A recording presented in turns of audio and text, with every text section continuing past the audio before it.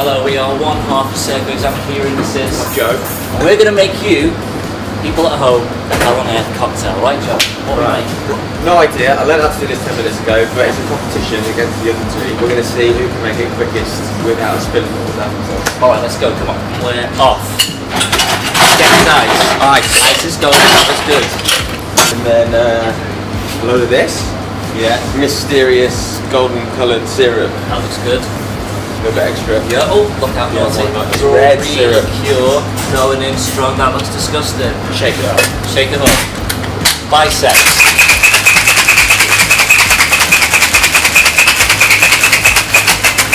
Alright, come on, it's on Simon, come on, lad. Yeah. Yeah. Yeah. Oh, that looks delicious. Like a big tomato soup. What is it?